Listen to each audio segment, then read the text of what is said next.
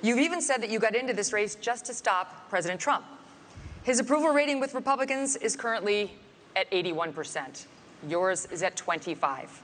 Your best state is New Hampshire, and even there, two thirds of GOP voters say they would be angry and disappointed if you won. Respectfully, Governor, you have not stopped Mr. Trump, and voters may wonder how you could possibly become the nominee of a party that does not appear to like you very much. Yeah, well, look, Megyn. Chris Christie is losing it, both figuratively and literally. When a viral video showed up of him chewing out moderator Megyn Kelly during the break, I was very interested to see what she had to say about it. Video that went viral of somebody in the balcony filming Chris Christie coming over to yours truly during a break at the end of the first hour and kind of getting up in my grill. And there was all sorts of speculation about what was happening there. I will tell you what was happening there. It was not off the record. He was mad that he wasn't getting enough questions.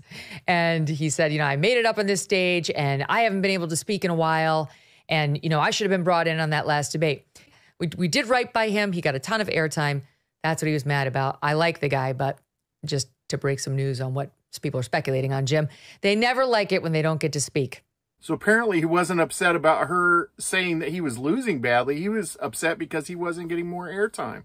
News Chat.